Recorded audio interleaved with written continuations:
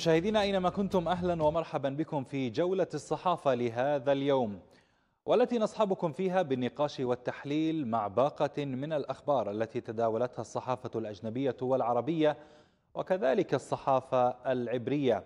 وسنختم أو سنكون في آخر محطات هذه الجولة ضمن عناوين سريعة في الصحافة الإلكترونية.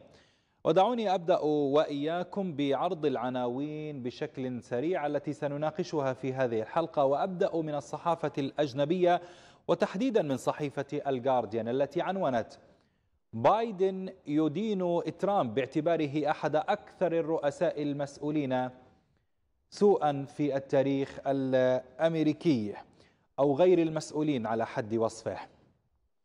أما فيما يتعلق بصحيفة الاندبندنت فكتبت تعليق محادثات الخروج من الاتحاد بعد إصابة المفاوض الأوروبي بفيروس كورونا. فيما موقع ميدل إيست مونيتور فعنون لهذا اليوم 400 طفل فلسطيني يحتجزهم الاحتلال منذ بداية 2020 وآخر ما لدينا في الصحافة الأجنبية هو من موقع ميدل إيست آي الموقع عنوان لهذا اليوم. الخارجية البريطانية تطالب مصر بالإفراج عن نشطاء حقوق الإنسان. أما في صحفنا العربية فاخترنا لكم بداية من صحيفة الأيام الفلسطينية التي نقلت عن الرئيس محمود عباس قوله إنهاء الانقسام وبناء الشراكة الوطنية عبر الانتخابات خيار استراتيجي لا رجعة عنه فيما صحيفة الشرق الأوسط فتناولت الشأن الليبي وآخر التطورات المتعلقة به وعنونت تفاؤل أممي بفرصة سلام نادرة في ليبيا. أما صحيفة الجريدة الكويتية فكتبت دعوات لبايدن للتحاور مع الخليج حول إيران. آخر ما لدينا في الصحافة المكتوبة هو مما كتبته مما كتبته إسرائيل اليوم التي عنونت أربعة دوافع لهجوم الاحتلال على سوريا. إحداها تتعلق ببايدن.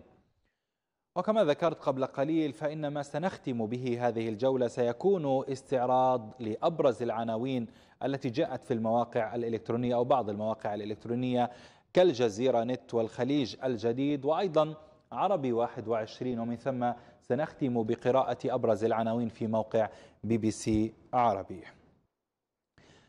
دعوني الآن أتحول للنقاش والتحليل وتحديدا أبدأ بالصحافة البريطانية من خلال استضافة ضيفنا من لندن الصحفي محمد فتوح. أهلا فيك أستاذ محمد. بداية والجارديان كتبت بايدن يدين ترامب باعتباره أحد أكثر الرؤساء غير المسؤولين في التاريخ الأمريكي. ما الذي يثير آه، آه، قلق بايدن بحسب تقرير الجارديان نعم يعني بايدن بدأ بتصعيد الهجوم ضد ترامب الذي يحاول وقف إعلان النتائج النهائية وإعلان فوز بايدن بالرئاسة. آه، يقول بايدن ما يقوله حقيقة هو آه، أن هذا سيثير الانقسام وسيفقد الثقة بالديمقراطية الأمريكية كما قال وليس آه، تأخر النتائج في حد ذاته. وبالتالي فإن هناك خشية من أن استمرار المعارك الانتخابية ستثير الانقسام والتشكيك في الانتخابات وتعرقل فريق بايدن نفسه لأنه إلى الآن لأنه لم يعلن فوزه رسميا من قبل اللجنة الوطنية للانتخابات آه، وبالتالي فإنه لا لا يتلقى أي إفادات آه، سرية أو استخباراتيه آه، من إدارة ترامب. وبالتالي يشكو بايدن من أنه ما زال يفتقد للأدوات اللازمة لبدء التخطيط للمرحلة المقبلة. يتزامن هذا طبعا مع آه، فقدان أو خسارة ترامب ثلاث دعاوى قضائية في ثلاثة في ثلاث ولايات آه، لإبطال النتائج. وبالتالي هناك على ما يبدو رغم اقرار أو معرفة ترامب المسبقه بأن خسارته واقعة لكنه يحاول على ما يبدو آه، عرقلة الانتقال آه، لإدارة بايدن ويحاول استنفاذ كل الوسائل لتأخير إعلان النتائج لأنه لا يريد أن يقر بخسارته بسهولة. طيب أستاذ محمد فيما يتعلق بهذا القلق أو هذا الغضب من جو بايدن هل هنالك عملية تطور حصلت فيما يتعلق بالخطاب الذي يتبناه جو بايدن تجاه ما يفعله دونالد ترامب. هل هنالك تخلي عن الخطاب إن جاز وصفه بالهادئ من قبل جو بايدن الآن؟ وانتقلنا إلى مرحلة جديدة من الخطاب ضد دونالد ترامب. نعم على ما يبدو انه بايدن بدأ يعني ينفذ صبره. بالبداية كان يقول نحن سننتظر النتائج وكان حتى يتحاشى إعلان فوزه. ولكنه في مرحلة لاحقة بدا وكأنه يعني يعتمد على النتائج الأولية التي أصدرتها الولايات قبل المصادقة عليها بشكل نهائي لإعلان فوزه كرئيس المنتخب. آه، وبالتالي هو يصعد خطابه أيضا ضد ترامب الذي آه، كما قلنا يحاول عرقلة إعلان النتائج النهائية. وبالتالي بايدن الذي كان آه، يحاول أن يكون صبورا وقال وكان يقول بأننا سنعطي الوقت لإظهار النتائج النهائية ولا نريد أن نضغط على الولايات لإعلان النتائج الآن يبدو أنه بدأ بالاستياء من ترامب لأنه يعني يحاول استخدام كل الوسائل لمنع النتائج النهائية وهي ربما حالة غير مسبوقة. آه، حصلت في عام 2000 حالة آه، يعني النزاع بين بوش الابن والجور ولكن لم يحصل أن تم النزاع على جميع على أو على عدد كبير من الولايات آه، ومحاولة إيقاف النتائج في عدد من الولايات في آه، في في انتخابات واحدة. وبالتالي آه، هناك خشية من بايدن أنه سيحدث هناك سوابق تاريخية ستستخدم في المستقبل لإضعاف الانتخابات وبالتالي تشكيك أو استمرار التشكيك بنتائج الانتخابات حتى مع ظهور مثل هذه النتائج. طيب دعني أتحول الآن إلى صحيفة أخرى وهي صحيفة اندبندنت الصحيفة عنونت لهذا اليوم وكتبت تعليق محادثات الخروج من الاتحاد بعد إصابة المفاوض الأوروبي بكورونا. هل يعني مزيدا من التأخير فيما يتعلق بالمفاوضات؟ نعم يعني مع إعلان تأجيل الانتخابات بسبب إصابة ميشيل بارنيه كبير مفوضي الاتحاد الأوروبي في مفاوضات البريكزيت آه، تأجلت اللقاءات بين رؤساء الوفود أو بين الممثل البريطاني ديفيد فروست وبارنيه ومساعديهما. ولكن ستكون هناك بعض المباحثات التقنية على مستوى أدنى. بالتأكيد هذا سيؤجل أو سيؤخر المفاوضات المتأخرة أصلا. البريطانيون كانوا حددوا أصلا آه، نهاية الشهر الماضي كموعد النهائي ولكن الأوروبيين رفضوا هذا الموعد آه، وفي كل يوم يمضي تقترب فرص الخروج أو الانسحاب بدون اتفاق نهائي أو اتفاق تجاري. الآن المفاوضات هي على اتفاق التجاري لما بعد مرحلة البريكسيت. هناك بعض النقاط التي ما زالت عالقة بعضها يتعلق بإيرلندا الشمالية وعلاقتها بجمهورية إيرلندا أو الحدود بينهما. آه، مسألة الصيد أو الصيد الأوروبيين في المياه البريطانية آه، إضافة إلى التزام أو البريطانيا أو التزام بريطانيا بقواعد الاتحاد الأوروبي وقوانينه. وبالتالي هناك يبدو يعني كان تشكيك مستمر بإمكانية الوصول لاتفاق آه، بحلول نهاية هذا العام بالرغم من أنه آه، الطرفين يتحدثان عن آه، سعيهما للوصول للاتفاق لكن البريطانيون البريطانيين يعني على ما يبدو كانوا يقولون إنهم ليسوا يعني مستعجل أو ليسوا مرتبطين كثيرا باتفاق كهذا إنما هم يقولون ربما يسعون لاتفاق تجارة حرة على غرار اتفاق أستراليا وهو يعتمد على آه، على قواعد منظمه التجارة العالمية وليس اتفاقا خاصا. آه، لكن على ما يبدو أيضا في نفس الوقت آه، لم يتم استنفاذ الفرص وهناك محاولات مستمرة من الطرفين للوصول لاتفاق بالحد الأدنى ولكن آه، إلى الآن لم يبدي أي طرف آه، تخلي عن شروطه بشأن المرحلة المقبلة. التأخير في المفاوضات ما بين بريطانيا والاتحاد الأوروبي هل ينعكس سلبا مثلا على فرص بريطانيا التجارية والاقتصادية التي تحاول الوصول إليها مع الاتحاد الأوروبي في خضم الخروج منه؟ يعني كما ذكرنا بريطانيا تقول إنها إذا لم يتم التوصل لاتفاق خاص مع الاتحاد الأوروبي فإنها سيتم اللجوء إلى قواعد منظمة التجارة العالمية وهي قواعد التجارة الحرة آه، وهو أيضا المعتمد بين الاتحاد الأوروبي وأستراليا بخلاف على سبيل المثال بين الاتحاد الأوروبي وكندا. بين الاتحاد الأوروبي وكندا هناك اتفاق خاص اتفاق تجارة حرة ولكن بين كندا بين أستراليا واوروبا هناك قواعد التجارة الحرة العالمية. ولكن في نفس الوقت هناك حديث دائم بأن بريطانيا لها وضع خاص باعتبارها جزء من القارة الأوروبية وقريبة من الحدود الأوروبية وبالتالي أو قريبة من من حدود الاتحاد الأوروبي وبالتالي يفترض أن يكون هناك قواعد عامة تحكم الاتفاق وهناك رفض لتطبيق قواعد طبقت مع دول أخرى أو اعتمدت مع دول أخرى بسبب حجم التجارة الكبير وترابط وتشابك العلاقات والقضايا الخلافية بين الاتحاد الأوروبي وبريطانيا. وبالتالي حتى لو تم اللجوء على سبيل المثال لقواعد التجارة العالمية فإنه ستكون هناك بعض القضايا الخلافية ما زالت مستمرة مثل حدود شمال إيرلندا وتصور بريطانيا أو كان هناك قانون بريطاني في الواقع يلغي أو يخرج عن عما كان متفقا عليه مع الاتحاد الأوروبي. وستكون هناك حدود مفتوحة مع شمال إيرلندا وهذا من شأنه.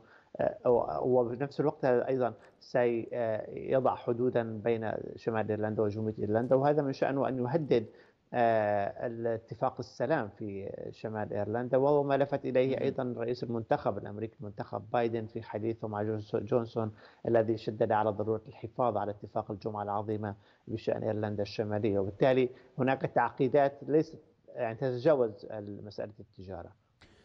نترك اندبندنت ونتحول إلى موقع ميدل إيست مونيتور الموقع تناول الشأن الإسرائيلي أو الفلسطيني كذلك حيث كتب 400 طفل فلسطيني يحتجزهم الاحتلال منذ بداية 2020 وبالتالي ما هو حجم هذه الانتهاكات الإسرائيلية بحق الأسرى الفلسطينيين؟ نعم آه، هذا تقرير هناك تقرير في الواقع لجمعية الأسرى الفلسطينيين تقول بأنه حوالي 400 آه، طفل فلسطيني تم اعتقالهم منذ بداية هذا العام. 170 منهم ما زالوا قيد الاحتجاز حتى الآن. آه، يتحدث التقرير عن محاكمات أمام محاكم عسكرية وهي تقول انها ربما الدولة الوحيدة التي تحاكم أطفال أمام محاكم عسكرية. تحدث عن التعذيب وإساءة المعاملة. آه، ويشير التقرير أيضا إلى قضية اعتقال الأطفال بشكل آه، يعني أحيانا كما تتذرع السلطات الإسرائيلية بأنه بسبب الفحص آه، البحث عن مطلوبين وبالتالي هناك مطالبة للمنظمات الدولية والمجتمع الدولي بأن يتدخل لمثل لمنع مثل هذه الممارسات وهذا التقرير يعني يأتي في آه، يوم الطفل العالمي وبالتالي هو يشير إلى آه، ما يعانيه الأطفال الفلسطينيون في هذا السياق. آخر ما لدينا من عناوين آه، هو من موقع ميدل إيست آي الموقع كتب الخارجية البريطانية تطالب مصر بالإفراج عن نشطاء حقوق الإنسان. أولا من هم هؤلاء النشطاء تحديدا ولماذا يتم اعتقالهم أيضا؟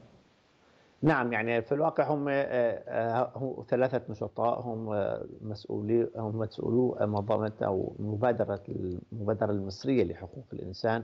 هؤلاء المسؤولين الثلاثة اعتقلوا على أيام خلال الأسبوع الماضي بسبب لقائهم ب مندوبين أو ممثلين أو دبلوماسيين بالأحرى آه، من آه، آه، أوروبا دبلوماسيين أوروبيين في مصر تم الالتقاء بهم في أو مقر الجمعية في القاهرة وبعد لقائهم بعدة أيام اللقاء تم في الثالث من نوفمبر أو في تشرين الثاني وبعد لقائهم بعدة أيام بدأت حملة ملاحقة لهؤلاء النشطاء وبدأت واعتقل ثلاثة المسؤولين الثلاثة اعتقلوا على دفعات وأحدهم كان خلال قضاء إجازة في منطقة دهب. آه، وبالتالي هذا أثار قلق الاتحاد الأوروبي أو أوروبا بشكل عام لأنه اللقاء تم على خلفية آه، يعني حوار بين المنظمة ومسؤولين أو دبلوماسيين اوروبيين وبالتالي لأول مرة ربما تصدر مثل هذه الادانات العالمية السريعة خصوصا من فرنسا آه، التي دأبت على القول بأنها لا تتدخل في الشأن المصري ودأبت على واتهمت مرارا بالسكوت على انتهاكات حقوق الإنسان في مصر حفاظا على على العلاقات العسكرية والاقتصادية وعلاقات يعني ربما في مواجهة تركيا. وبالتالي ما الذي يدفع ك... أستاذ محمد بعض الدول الأوروبية وخاصة دولة كفرنسا لديها مصالح مع مصر للتعليق على هكذا موضوع حساس؟ آه نعم يعني هو جانبين الجانب الأول هو أنه اللقاء الاعتقالات تمت على خلفية لقاءات مع مسؤولين أو دبلوماسيين أوروبيين بينهم فرنسيون وهذا بالتالي سيكون محل إحراج لفرنسا لأنها لا يعني افترض أنها تحمي الذين تلتقي معهم وفي نفس الوقت آه، هناك انتقادات كثيرة طالت السلطات السلطات الفرنسية تحديدا بأنها تتغاضى عن حقوق انتهاكات حقوق الإنسان والسلطات الفرنسية يعني توحي بأن هؤلاء يعني آه، أو تدعم بالعكس كانت ربما تدعم في بعض الأحيان اعتقال بعض المعارضين وهي يعني بحجه أنهم إسلاميين أو بما إلى ذلك، اليوم هناك نشطاء حقوقيون مدنيون وليس لهم علاقة بالعمل السياسي وبالتالي هذا سيكون محرجا بالنسبة لأوروبا جميعا آه، لأن تقريبا جميع الدول الأوروبية تفضل العلاقات الاقتصادية والعسكرية آه، وتقيم صفقات كبيرة مع مصر آه، آه، على حساب حقوق الإنسان. وكان هناك تصريحات للسيسي كما لاحظنا سابقا بحضور ماكرون أو ميركل. بأنه أو بحضور مسؤولين زعماء أوروبيين عده في الواقع بأنه حقوق الإنسان في مصر هي غير كحقوق غير حقوق الإنسان في أوروبا وطالب الصحفيين الأوروبيين بعدم المساواة أو الربط بين هذا وهذه وتلك. وبالتالي آه، هناك دائما حالة تنكر ربما لمسألة آه، وقوع انتهاكات لحقوق الإنسان في مصر وهناك دائما تبريرات مختلفة لهذه الانتهاكات. وسنرى مدى استجابة أيضا السلطات المصرية لهذا الطلب من بعض الدول الأوروبية. شكرا جزيلا لك الصحفي محمد فتوح. كنت معنا من العاصمة البريطانية لندن عبر سكايب. ودعونا مشاهدينا الآن نتوقف عند هذه الجولة من الأخبار الدولية. ثم نعود.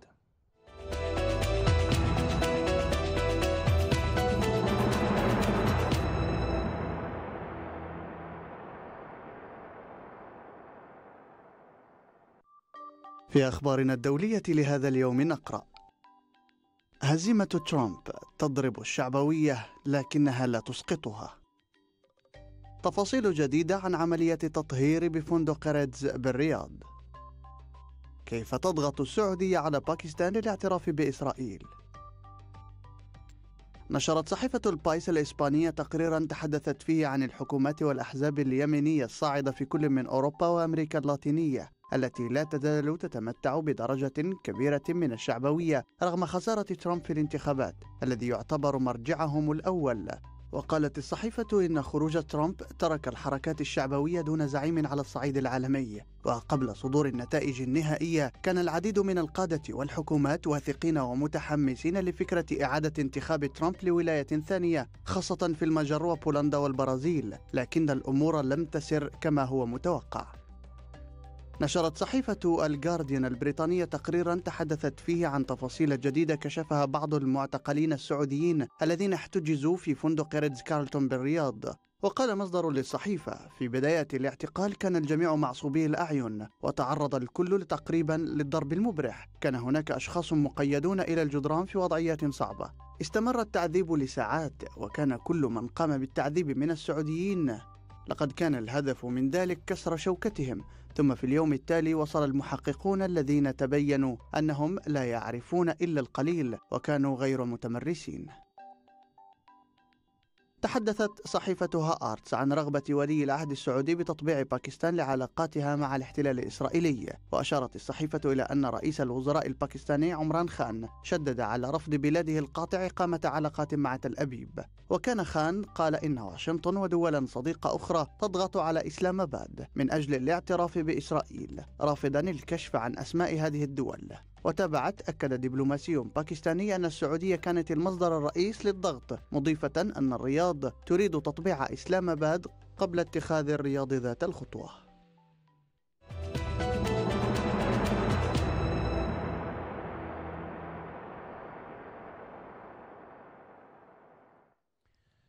أعزائنا المتابعين الآن نذهب وإياكم إلى فقرة كاتب ومقال. والمقال الذي اخترناه لهذا اليوم هو من موقع عربي 21 تحت عنوان هل كان ترامب الأمل الوحيد للوحدة الفلسطينية؟ وكاتب هذا المقال هو الصحفي الفلسطيني محمد أمين الذي يسعدنا أن نرحب به ويسعدنا انضمامه أيضا إلينا في هذه اللحظات عبر سكايب. أستاذ محمد أهلا وسهلا فيك معنا. أهلا بك أستاذ يحيى شكرا على الاستضافة. حياك الله. بداية برأيكم لماذا لم تنتظر السلطة ريثما يتقلد منصبه جو بايدن هنالك في الولايات المتحدة الأمريكية؟ وهل كان فعلا أو كانت فعلا مسألة الوحدة الفلسطينية مرتبطة ارتباطا كبيرا؟ آه، عفوا عودة التنسيق الأمني مرتبطة بوجود آه، دونالد ترامب في السلطة. شكرا أستاذ يحيى على هذه الاستضافة، لم تنتظر السلطة لأنها مدمنة، المدمن لا يستطيع أن يقلع كثيرا عما أدمن عليه، المدمن على المخدر أو على التدخين أو على الكحول أو على أي شيء لا يستطيع أن يتوقف كثيرا. السلطة مدمنة على التنسيق الامني ومدمنة على تقديم التنازلات ومدمنة على تقديم كل ما يمكن أن يرضي إسرائيل والولايات الأمريكية، هي أدمنت على التنسيق، ست شهور كان السيد حسين الشيخ جالس في المكتب ويخشى أن يفقد وظيفته، نحن اليوم كشعب فلسطيني في الداخل والخارج كل القضية الفلسطينية ثبت من موقف السلطة الفلسطينية الأخير أنها تدور حول أن السيد حسين الشيخ لا يفقد وظيفته في التنسيق الأمني، اليوم لا يتم لدى السلطة الفلسطينية وأنا دعني أقول يحيى أنه هذه السلطة بهذا القرار للأسف الشديد آه، يؤكد هذا القرار على أن السلطة هذه ليست أمينة على الشعب الفلسطيني، ليست أمينة على قضية اللاجئين، ليست أمينة على قضية القدس، ليست أمينة على قضية التحرر وإقامة الدولة الفلسطينية.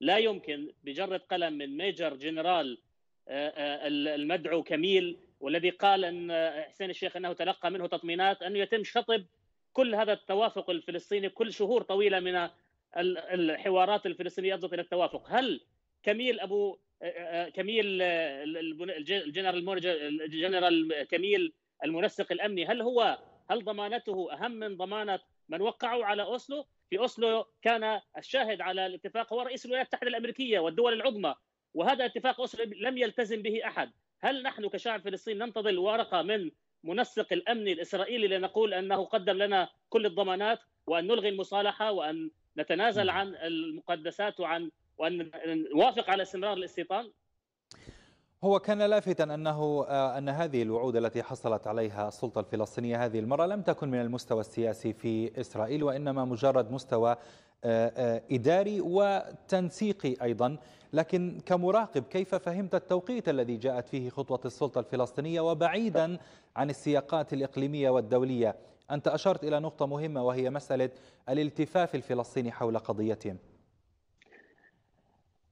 لا يمكن آه، أستاذ يحيى قراءة هذا القرار إلا في سياق أن السلطه ليست جادة في مسألة المصالحة آه، الوطنية وليست جادة في مسألة آه، يعني إعادة بناء المشروع الوطني الفلسطيني، السلطة لديها خيار واحد، هذا التفسير الوحيد أنه هي السلطة مقتنعة فقط في خيار المفاوضات وهي تريد أن تستمر اللعبة هذه حتى لو استمرت ل 10 أو 20 سنة. هم التقفوا في مسألة فوز بايدن أنه هذا سيعيد مرة أخرى الموقف الأمريكي إلى الموقف التقليدي الذي عرفناه خلال العقدين الماضيين وهو العودة إلى خيار الدولتين والمفاوضات المفتوحة دون أجل مسمى، هذا يؤكد ويدلل عليه أن السلطة والتي جربت على مدار 30 سنة وأنا اتكلم هنا بال يعني بمعلومات وليس بعيدا عن العاطفة وحتى هذه اللحظة لم تس لم يتحقق أي شيء مما بعد المرحلة الانتقالية من اوسلو 30 سنة من المفاوضات وحركة فتح والسلطه هي التي كانت تخوض هذه المفاوضات والتي انتهت إلى الفشل والانسداد. واضح جدا أن السلطة ليس لديها خيار آخر. السلطة خيارها هو المفاوضات من أجل المفاوضات وهذا يعطينا آه، بالمحصلة مؤشر على أنه نحن اليوم آه، آه، تجري هذه العملية عملية التفاوض وعملية تغيير الموقف الفلسطيني من أجل الحفاظ على المصالح أو مصالح الفئة التي تدور في السلطة الفلسطينية وليس من أجل مصالح الشعب الفلسطيني. والدليل على ذلك لأنه آه، آه، عندما جاء جاءت رسالة الضمانات الأمنية حتى أقل من المستوى السياسي رسائل رسالة ضمانات أمنية من منسق من جنرال منسق يقوم بدور يعني ميداني وليس له علاقة بالمستوى السياسي. مباشرة السلطة اتقفت هذه الورقة وعادت مرة أخرى إلى التفاوض. اذا أنا ما أريد أن اقوله أنه اليوم هذا ليس ليس مشروعا فلسطينيا هو مشروع للقائمين على السلطة. لا يريدون أن يفقدوا المصالح والامتيازات والأموال التي تتدفق. للأسف الشديد أنا ما كنت أود انه أكتب هذا المقال لأني كنت ممن تفاءلوا بانه لقاء بيروت رام الله سيؤسس لشراكة فلسطينية وسيعيد القضية مرة أخرى إلى تعريفها الصحيح وهو قضية تحرر وطني ونضال ضد الاحتلال وليس وليس نضال من أجل السلطة والحفاظ عليها، إحنا لا يوجد سلطة في فلسطين حتى يطمع فيها سواء في رام الله من يحكم في رام الله أو في غزة. هناك شعب تحت الاحتلال. أنا اليوم أسأل ما هي الضمانات فيما يتعلق بوقف الاستيطان؟ ما هي الضمانات فيما يتعلق بالقدس؟ ما هي الضمانات فيما يتعلق بإقامة الدولة الفلسطينية؟ قبل يومين من إعلان حسين الشيخ حول عودة العلاقة مع إسرائيل كان نتنياهو قد وقع عقدا جديدا أو اتفاقا جديدا أو أمضى على اتفاق جديد لمشروع استيطاني. يفصل نعم. القدس عن الضفه وقيل أستاذ محمد فيما يتعلق بهذا المشروع الاستيطاني بأن الإمارات هي من قامت بتمويله في مدينة القدس آه، آه، المحتلة ومن هذا المنطلق البعض يبرر للسلطة الفلسطينية هذه العودة إلى التنسيق الأمني بأنه تم التضييق عليها اقتصاديا الدول العربية تركتها وحيدة وذهبت إلى التطبيع بل إن بعضهم يمول مشاريع استيطانية على أراضي فلسطينية هنا محتلة هنا السؤال السؤال هنا أستاذ يحيى يعني إذا إذا العرب تنازلوا عن فلسطين وطبعوا مع إسرائيل فنحن نروح نذهب ونبيع مثلهم ونتنازل مثلهم؟ بالعكس الفلسطينيين دائما كانوا رافعة كانوا هم الذين يمنعون هذه الهروله نحو التطبيع. الفلسطيني لو باع كل الدول العربية باعت وطبعت ووقعت مع إسرائيل نحن كفلسطين علينا أن نرفض هذا المسار وأن نتمسك بأرضنا. هذه أرضنا. الآن لو إيران في آه، الإمارات أرادت أن تحتل الجزر الثلاثة التي تحتلها وأنها آه، آه، وأن تأخذ أيضا العاصمة أبو ظبي، هل الاماراتيين سيوافقون وسيبيعون أرضهم لإيران وسيفسحون العاصمة ليأتوا الإيرانيين ويحتلونها؟ نحن كفلسطينيين لماذا على العرب يقوم العرب بالتنازل عن أرضنا وعلينا أن نصمت ونسكت؟ لماذا علينا أن نوافق على احتلال أكثر من 90% من الأرض الفلسطينية. ثم نقول والله إذا العرب يعني والعرب يقولون والله أنتم هذا هو الحل الواقعي. لا يوجد لا يوجد لا يوجد حل نعم. بمعنى لا يوجد لا يمكن أنه نحن ننطلق من لحظة راهنة فيها ضعف عربي وضعف فلسطيني ونقر بالواقع. عدم القبول بالواقع شيء والإقرار به شيء آخر. رقم اثنين إنه العرب تاريخيا كانوا يريدون من السلطة أو من الفلسطينيين ان يقدمون على تنازل من أجل أن يذهبوا نحو إسرائيل، نحن يجب أن لا نعطيهم هذه الورقة. وأنا قلت الآن إنه كان هناك قبل آه، آه، تراجع السلطة كان هناك توافق فلسطيني وكان هناك استعداد لأن يتحمل الجميع المسؤولية. والسلطة الفلسطينية آه، التي أو توقفت عن استلام الضرائب ست شهور لم تنهار لأنه في الآخر نعم. هي قائمة على جيوب الفلسطينيين.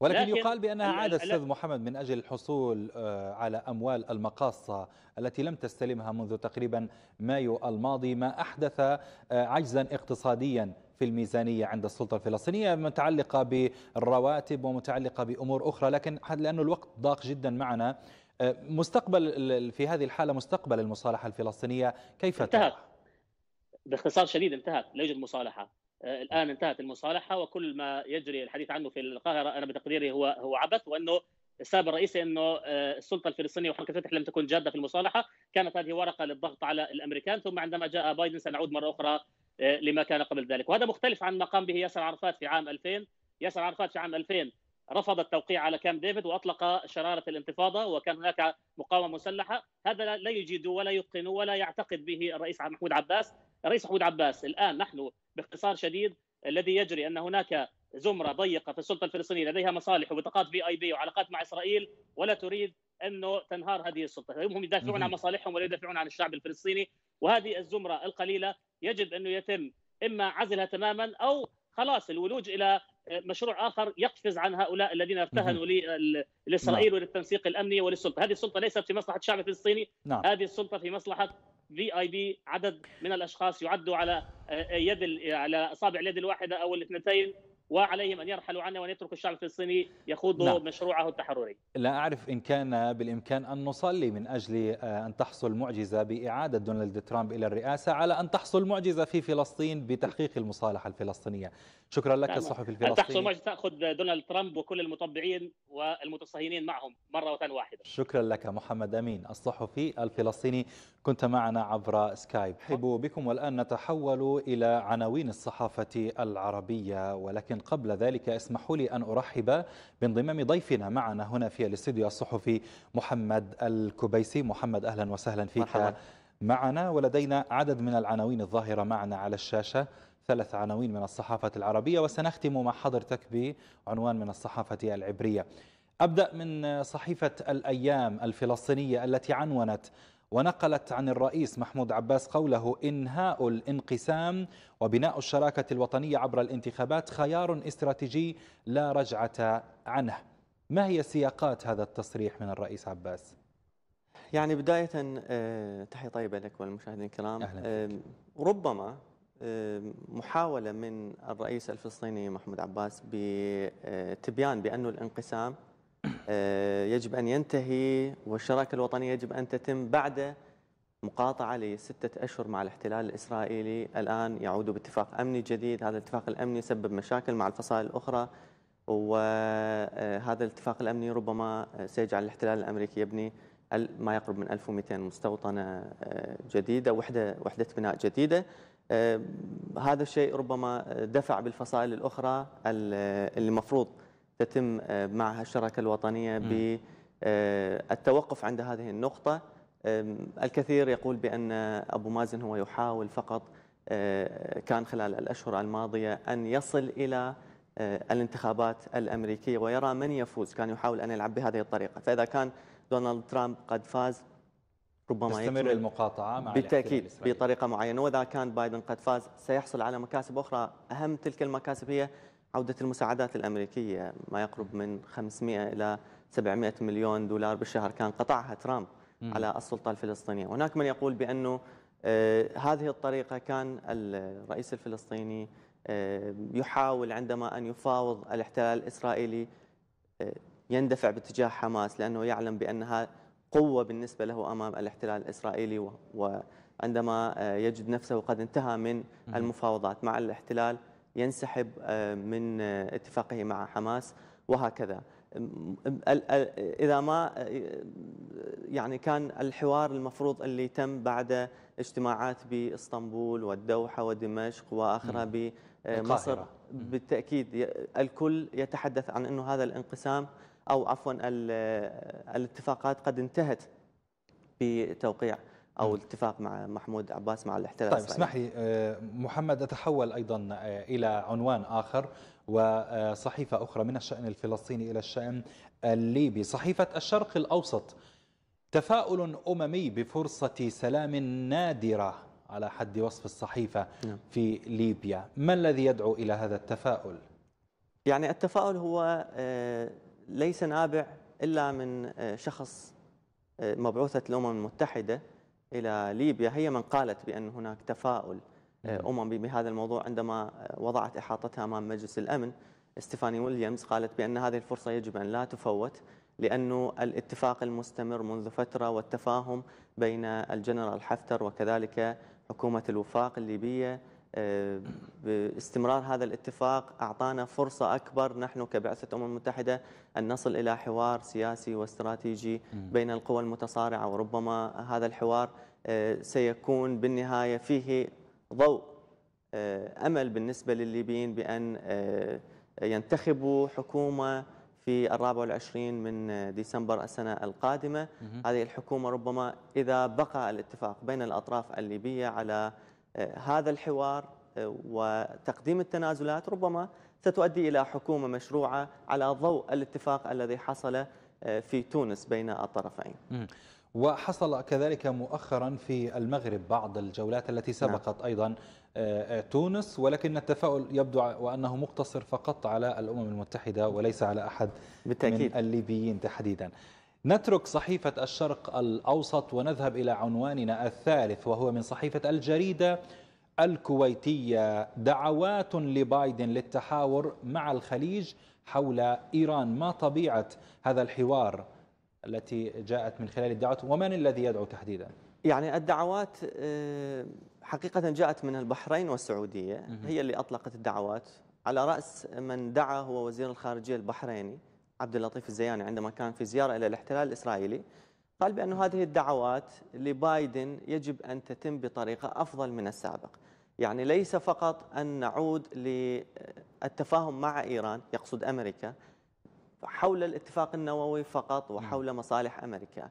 يجب أن تعرف أمريكا بأنه آه، كما سماهم شركاء أمريكا في المنطقة يجب أن يعلم بأن آه، هؤلاء الشركاء لديهم رأي مهم يقدموه. يعني آه، يجب أن يوقفوا كما وصفها زعرنة إيران في المنطقة والأسلحة البالستية التي تنتجها إيران.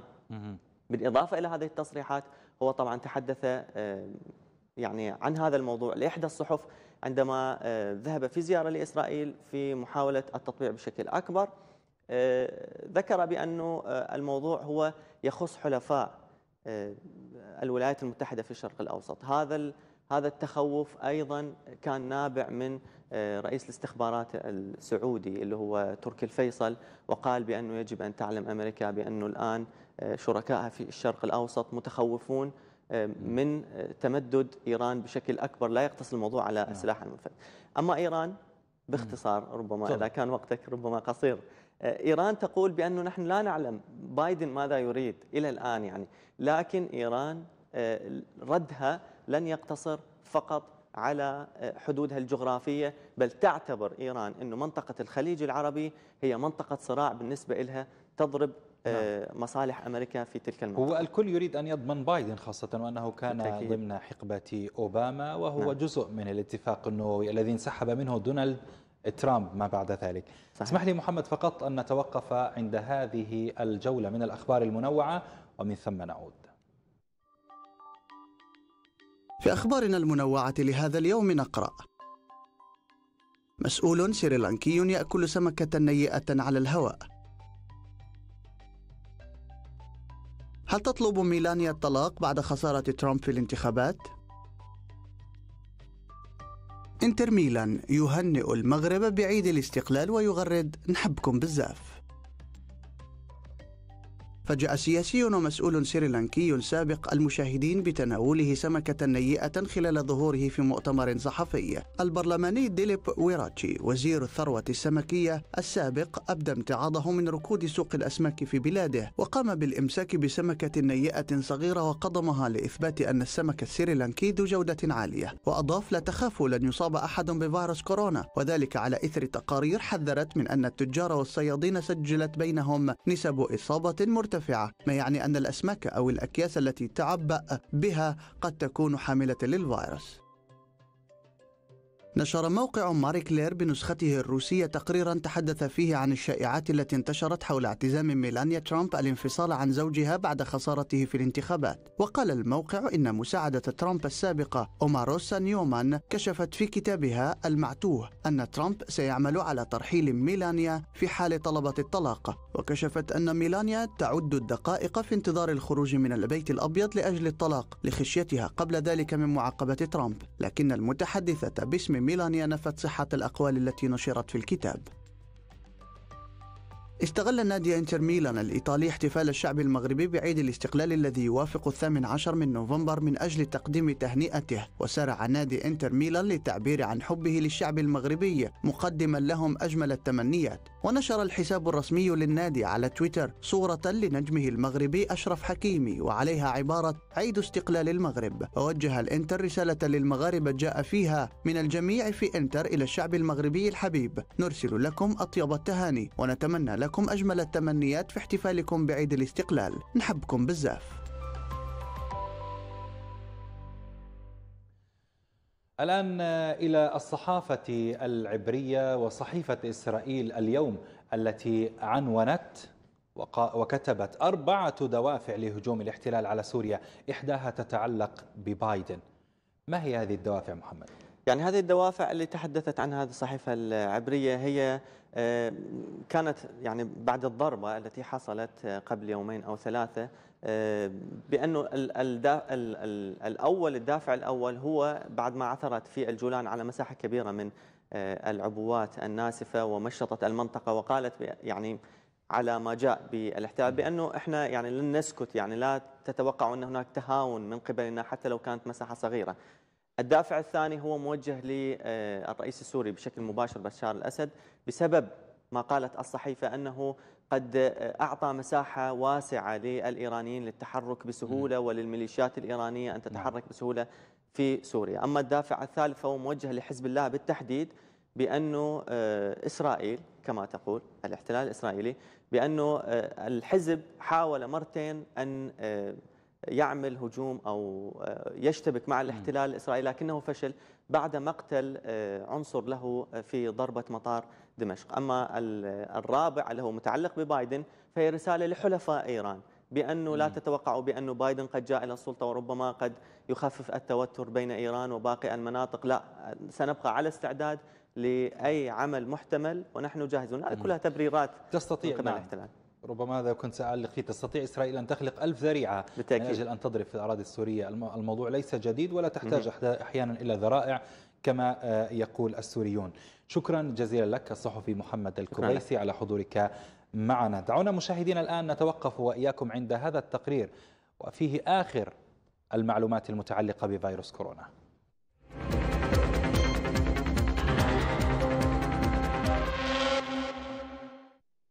دراسة مضادات كورونا تتراجع أسرع عند الرجال مقارنة بالنساء. أظهرت دراسة أن مستويات الأجسام المضادة لفيروس كورونا في أجسام الرجال تنخفض بصورة أسرع مقارنة بالنساء. ولفتت صحيفة الجارديان إلى أن أبحاثا أخرى أشارت إلى وجود اختلافات بين النساء والرجال في طريقة الإصابة ومواجهة الفيروس بالجسم. ومنها زيادة احتمالية الإصابة لدى النساء. بالمقابل ترتفع احتمالية الوفاة للرجال بمقدار الضعف. وأوضحت أنه إذا انخفضت الأجسام المضادة بدرجة أكبر لدى الذكور مقارنة بالإناث بعد التطعيم. فقد يعني ذلك أن الذكور بحاجة إلى جرعة أخرى من اللقاح للحفاظ على المناعة. يونيسف تحذر جيل كامل من الأطفال مهدد بسبب كورونا. حذرت منظمة اليونيسف من عواقب كبيرة على الأطفال مع اقتراب دخول جائحة كورونا عامها الثاني. وقالت المنظمة إن الأعراض بين الأطفال لا تزال خفيفة لكن العدوى تواصل الارتفاع والتأثير طويل المدى على التعليم والتغذية والرفاهية لجيل كامل من الأطفال والشباب وهو ما يمكن أن يغير حياتهم. وقالت المديرة التنفيذية لليونيسف هنريتا فور إن تعطل الخدمات الرئيسة ومعدلات الفقر المرتفعة يشكلان أكبر تهديد للأطفال فكلما طال أمد الأزمة زاد تأثيرها على تعليم الأطفال وصحتهم وتغذيتهم ورفاههم.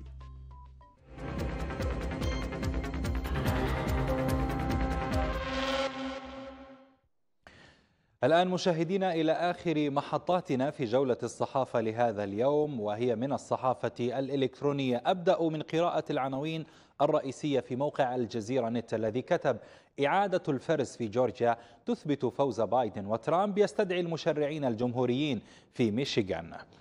ونقلا عن واشنطن بوست خطة من ثمان نقاط لترامب لمغادرة البيت الأبيض والعودة في انتخابات 2024 وقبيل مغادرته البيت الأبيض. لماذا قرر ترامب تخفيض قوات بلاده في العراق وأفغانستان؟ ويتساءل الموقع ما هو نظام دومينيون الانتخابي الذي ينتقده ترامب ويصفه بالبشع في عناوين أخرى على موقع الجزيرة نت أيضا ماذا لدينا؟ لأن الموقع يركز كثيرا على مسألة الانتخابات الأمريكية ولكنه يركز أيضا على آه، آه، قضايا أخرى مهمة حيث تواصلت مع سماسرة يهود الإمارات تبحث عن عقارات فخمة لسفارتها في إسرائيل. دعونا نترك موقع الجزيرة نت ونتحول إلى قراءة العناوين في موقع الخليج الجديد الذي كتب اتفاق تعاون واسع. الاتحاد الإماراتية تنصهر في, في العالي الإسرائيلية بعد التطبيع. ومن العناوين الموجودة على موقع الخليج الجديد أعضاء في مجلس الشيوخ الأمريكي يسعون لمنع بيع أسلحة للإمارات قيمتها 23 مليار دولار. السعودية تستعد لقمة مجموعة العشرين وسط تحديات اقتصادية هائلة كيف ستحاول إسرائيل التأثير في سياسة بايدن تجاه الشرق الأوسط؟ يتساءل الموقع. أيضا من موقع الخليج الجديد الذي يتساءل هل يشعل ترامب حربا ضد إيران خلال الأسابيع المقبلة؟ نتحول من الموقع إلى موقع آخر ألا وهو عربي 21 الموقع في عناوينه الرئيسية وأول عنوان يظهر معنا لماذا تتشدد السلطة بمصالحة حماس وتتساهل مع الاحتلال الإسرائيلي؟ عنوان آخر يقول أمريكا تشرعن منتجات مستوطنات الضفة وسط تنديد فلسطيني. وأيضا تأكد فوز بايدن في إعادة فرز الأصوات بولاية جورجيا. وليبيا تطالب بمنح البعثة الأممية تفويضا لدعم الانتخابات. وقوى الحرية والتغيير تحدد موعدا نهائيا لتشكيل برلمان السودان. وأوباما يكشف تفاصيل مكالمة مع محمد بن زايد إبان ثورة مصر. الجيش الأذري يدخل أقدام أول منطقة يسلمها الآرمن. تفاصيل جديدة عن عملية التطهير في فندق ريتز بالرياض. وأيضا ما صحة الشائعات عن الأثار الجانبية للقاح فيروس كورونا. نترك موقع عربي 21 ونتحول إلى آخر ما لدينا وهو بي بي سي عربي. بايدن إنكار ترامب للنتائج يبعث رسالة مروعة للعالم. وأيضا يكتب الموقع عن خمسة أسباب وراء فوز جو بايدن. ولماذا ينتاب القلق الأوساط الاستخبارية الأمريكية في المرحلة الانتقالية بين ترامب وبايدن؟ وبماذا وصف أوباما بوتين وأردوغان وزعماء آخرين في مذكراته. أيضا عقار لالتهاب المفاصل قد يعالج الحالات الحادة لكوفيد 19 وكيف يعود الإنسان إلى الماضي. ولكن هنا المفارقة أنه يقول الموقع بأنفه. نتوقف عند هذه العناوين مشاهدينا من موقع بي بي سي عربي. ونشكركم أيضا على متابعتنا في جولة الصحافة لهذا اليوم. هذه أطيب المنى. في أمان الله.